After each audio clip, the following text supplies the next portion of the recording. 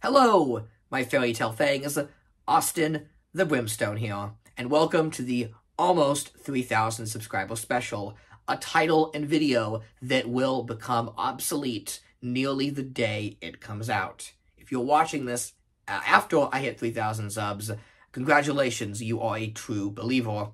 Uh, but I was looking through my back catalog of videos, and about a year ago today, I did a video called Thank You for 500 Subscribers.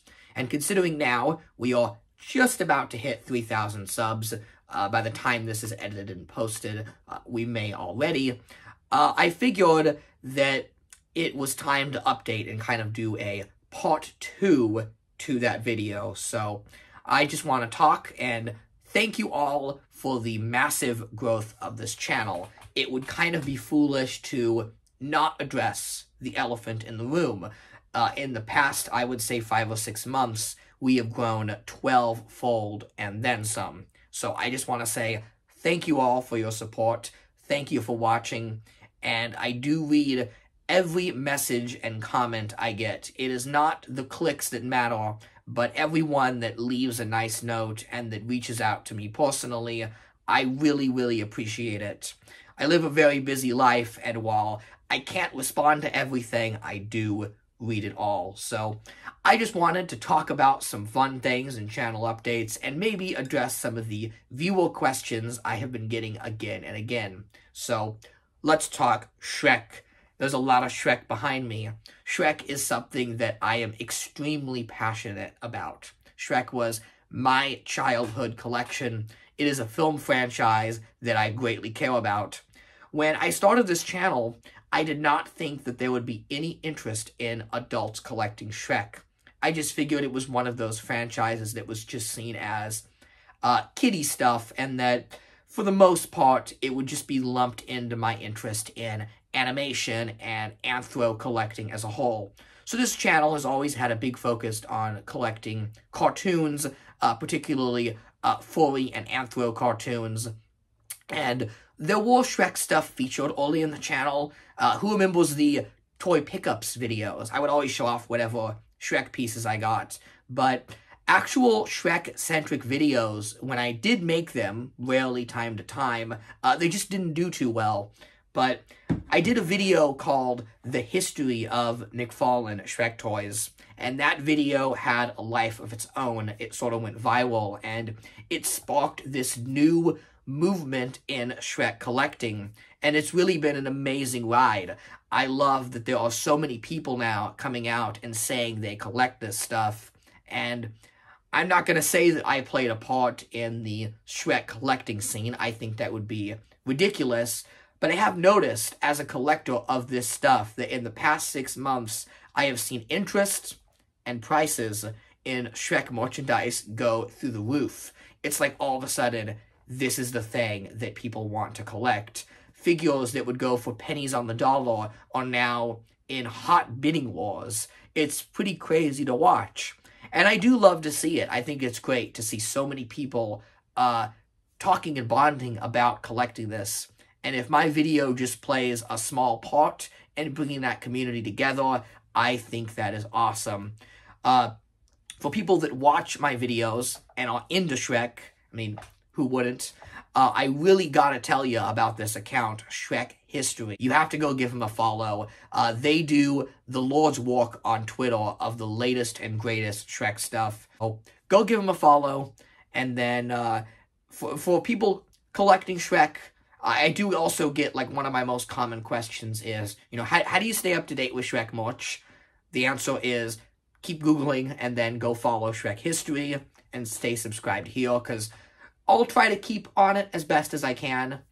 And also, um, how do you find the Shrek merch, right? That's another question I get is, where does this all come from? Well, a lot of it, truthfully, comes from thrift stores and flea markets.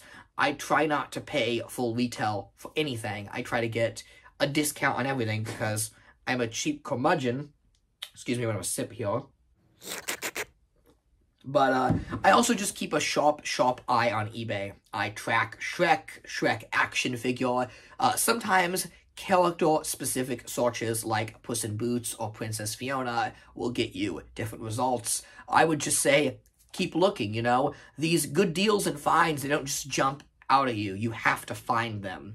There's a Fiona action figure I have here. Actually, let me get it. This one here, this is an extraordinarily rare figure that I really wanted to do a video on. I knew it existed and nobody had talked about it, so I literally just refreshed eBay for a year and was able to get it. So, you know, just keep a sharp eye and, uh, you know, do the dirty walk and the, the Shrek goodness will come to you. So, I have a lot of Shrek videos in production.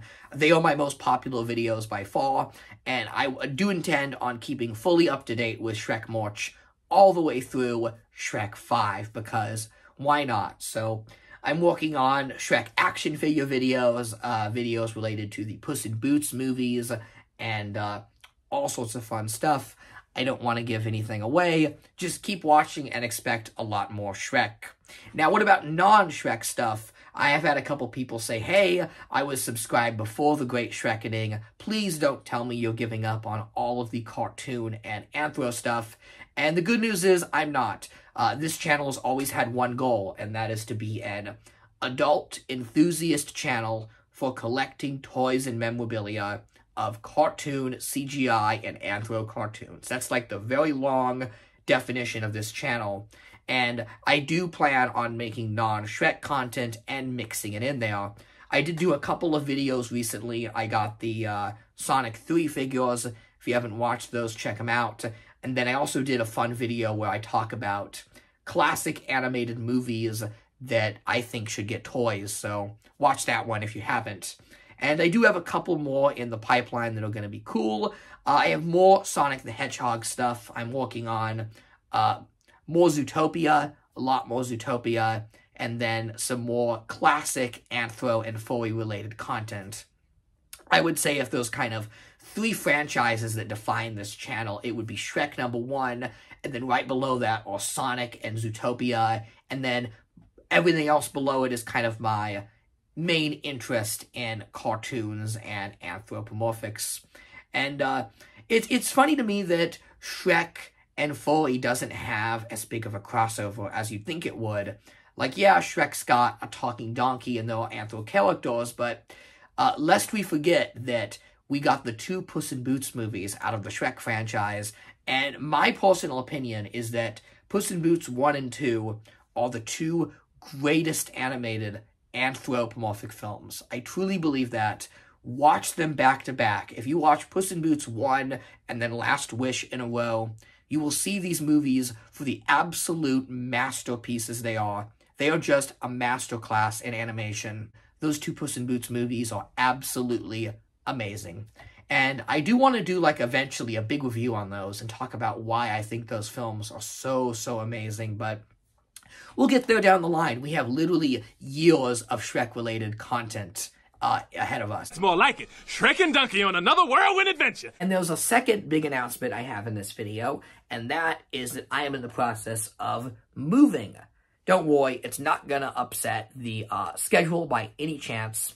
Uh, we're still going to be making lots of great content, but if you're wondering why I haven't done a room tour recently or a collection tour, it's because I have about half of my stuff packed up currently.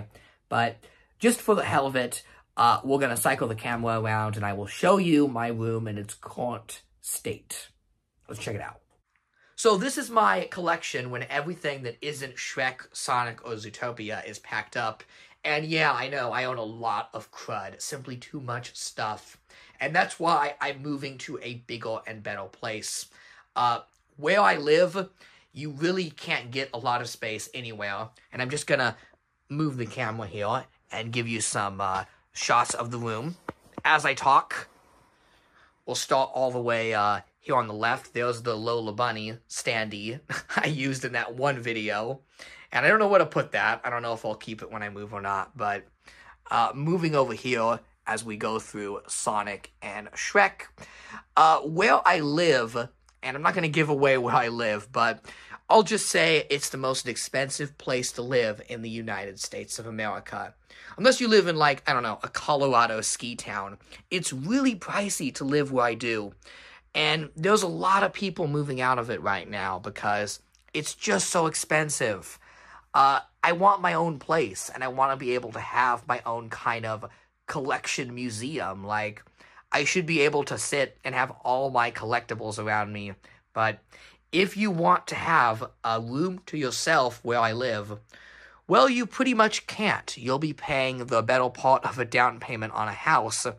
And uh, you will even have roommates. Like, I don't know about you all, but I just want to have a place where I can hang out with my collectibles and not have them uh, shared amongst six others. But there is a huge housing crisis where I live, and finding your own space is pretty much an impossible task. So I'm going to be moving out of state to a nice big apartment.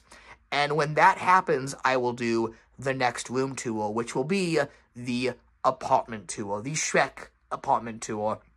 Also, another reason I am doing this move is because the things I collect, Shrek Zootopia, they're gonna expand. We have a new Zootopia movie coming out next Christmas. And y'all, I'm gonna need the space for this stuff. Like, I can't just sit back and not collect this merchandise. I am a born collector, and I need to spread my wings and have a bigger and better place. So I'm excited to move out and start this kind of next chapter of my life, find my own place, and, you know, make some fun content along the way. And I don't know about you all, but when I was packing this stuff up, uh, I was pleasantly surprised by how spacious my room now is. Granted, you still got laundry and clothes bumping up against action figures, but if you're a longtime channel viewer, uh, you remember how cluttered and crazy I used to live. But this new setup, I don't know, y'all, it's kind of classy. I'm kind of feeling it. So maybe when we move to this new place, I will keep some of the extra stuff packed up in storage and just really focus on the Shrek and Sonic and Zootopia.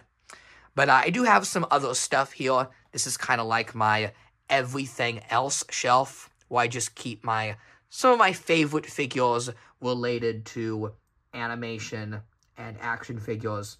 You'll probably recognize a few characters here. But don't worry, I plan on covering everything Shrek in the future as we uh, head towards Shrek 5. Hopefully this shelf right here, this is the one I really want to expand. The ultimate 6-inch Shrek figures. I do like the vintage figures, but they're not very articulated. All of them are just kind of like slightly posable.